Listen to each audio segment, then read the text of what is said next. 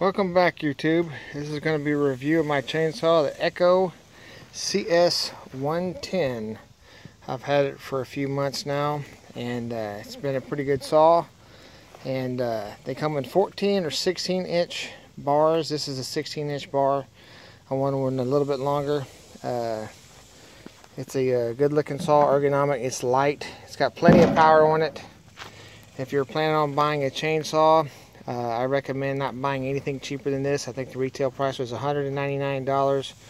That's what I paid for it. Uh, if you buy anything cheaper than that, you're liable to run into problems and regret it.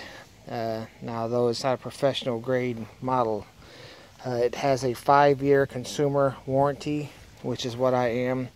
One-year commercial warranty uh, for most people. Uh, five-year, five-year consumer warranty is going to be the way to go, you know, because uh, I think the Stihl has one, uh, 179 or something like that, or 175, whatever it is, the MS model that they have is, you can find it $20 cheaper than this one, at least on retail, uh, but it only has a one-year warranty, and uh, this is a pretty good saw. I want to give you a quick demonstration. I'm going to be taking down a 9 to a 9.5 inch tallow tree, and uh, we'll see how it does. Okay, here we go. This is, like I said, about a nine and a half inch tallow tree. Uh, it's got pretty decent lean out towards the lake in the background back there, so I don't have to worry about it uh, falling back towards me. And uh, I'm about to make the safety Nazis go crazy because I'm in shorts and don't have hearing protection and all that other stuff, which I recommend, but you know, I know what I'm doing with the saw. So uh, I'm pretty safe with it.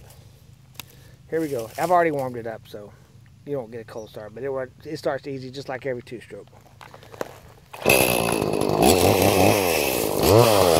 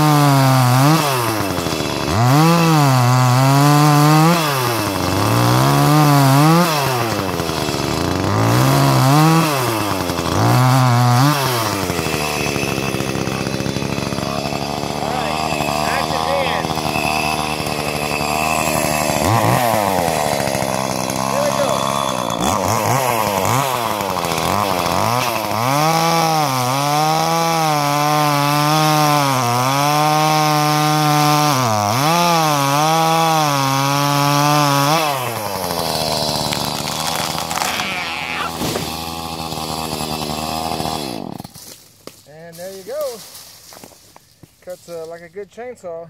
Like I said, it's definitely worth a buy. Thanks for watching. Don't forget to like and subscribe.